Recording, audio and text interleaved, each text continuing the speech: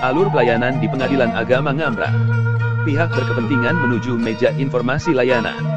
Meja informasi akan memberikan informasi seputar pengadilan, jika hendak mengajukan perkara, akan diarahkan ke bagian pos baku. Pos baku memberikan layanan seputar hukum dan pengajuan perkara, serta pembuatan surat gugatan atau permohonan, dan dokumen lain yang dibutuhkan.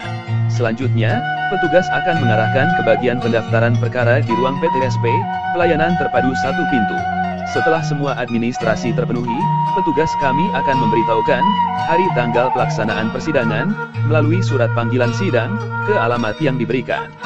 Apabila pihak sedang tidak ada di rumah, surat panggilan sidang disampaikan kepada aparat desa setempat agar nanti dapat diberitahukan kepada pihak yang bersangkutan.